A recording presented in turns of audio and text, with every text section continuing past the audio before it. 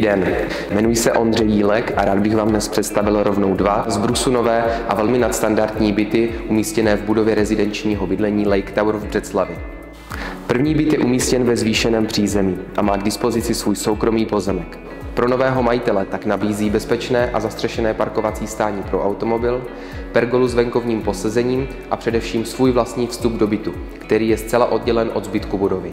Druhý podkrovní byt nabízí díky mnoha střešním oknům dostatek světla a vzdušný interiér.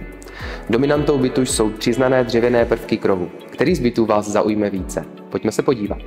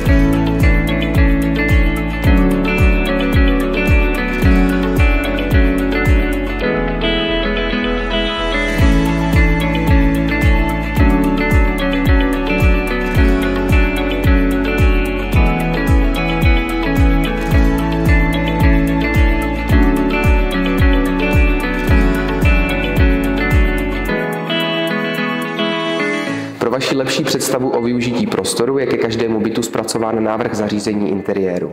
Přijďte si tyto návrhy porovnat s realitou a sjednejte si osobní prohlídku ještě dnes.